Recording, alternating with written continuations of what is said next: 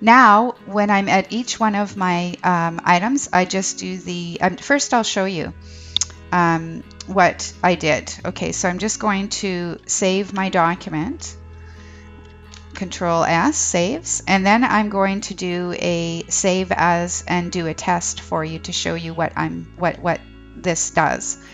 Okay, so we'll say um, ns sub test. And I had tested it before to make sure that it worked, and I always just replace my existing test. Okay, so you'll notice up at the top we're now in a test. I'm going to press that 11, F11 key. And um, first of all, I need to go out of design mode. And um, you'll do that once you finish your form. So I'll press that F11 a key again, and you'll notice that here we have um, a drop box, and it, I explain in here what they need to do. So you click on this triangle, and you pick whichever item you want. We'll say not applicable. And then what you would do is if I had had another um, item in here, I'll just add one to show you. I'll do the Alt Shift Y it's saying debug.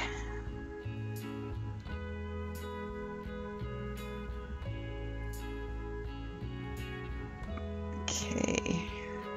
Form fields add range. Form text input. I'm not sure what that means. That's to add the field code in there. Hmm. I don't want that to happen every time.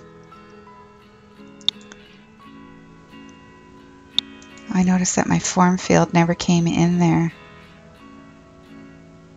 For some reason it's not letting my form field come in. Hmm. I'm just going to open this up again.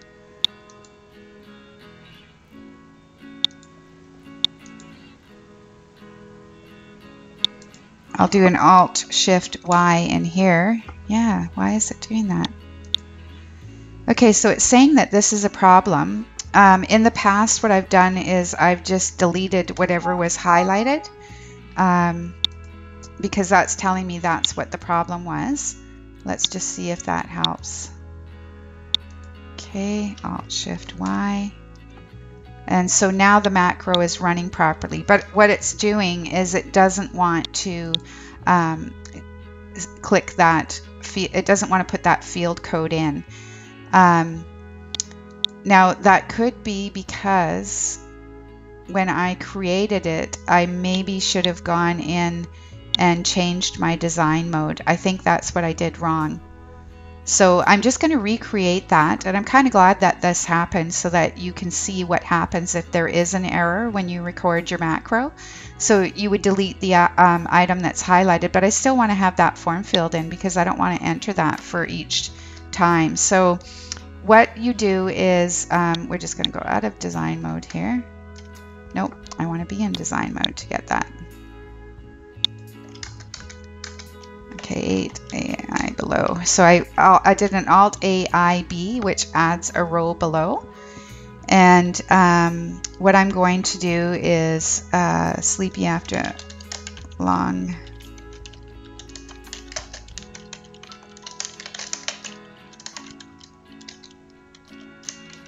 I'm just going to add two more items so that when we do this, um, Okay, so basically what we're going to do is we're going to go back into our macros here and we're going to um, get rid of, we're going to highlight macro Dropbox and we're going to say delete. Okay, and then we're going to close.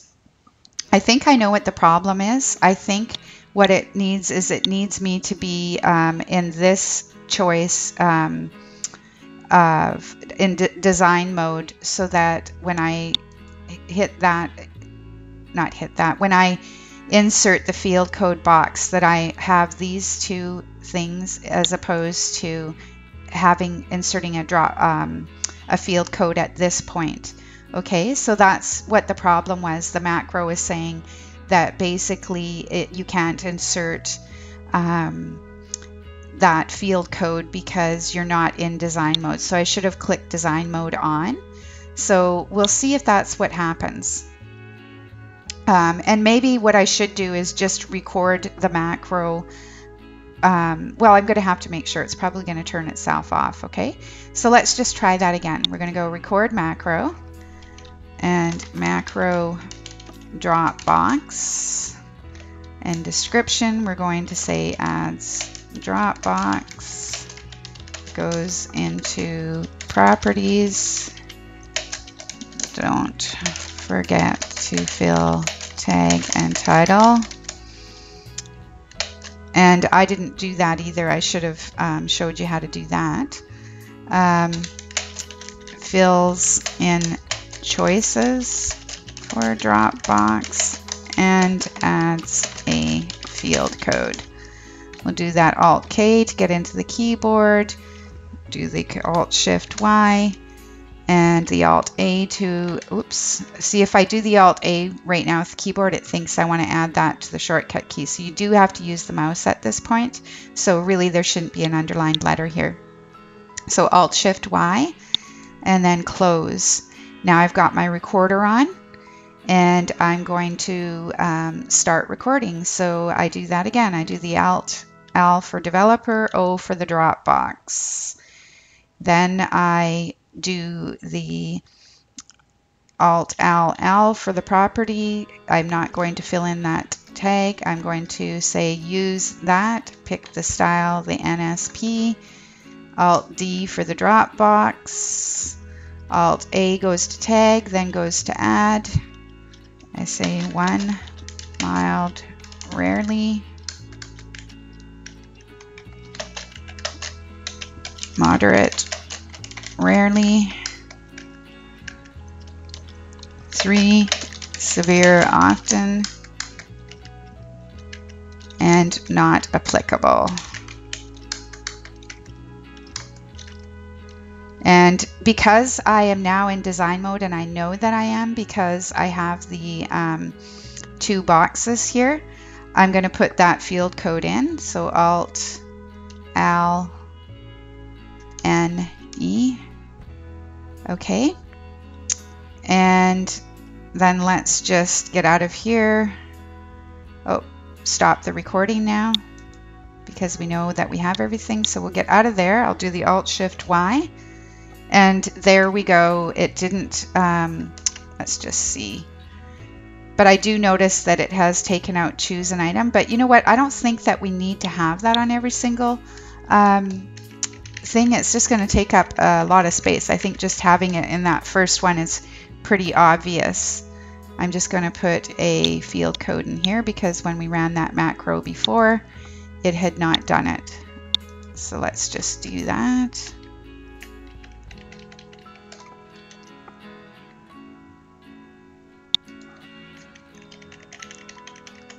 Okay. Alt N E. Whoops. That's not what I wanted to do.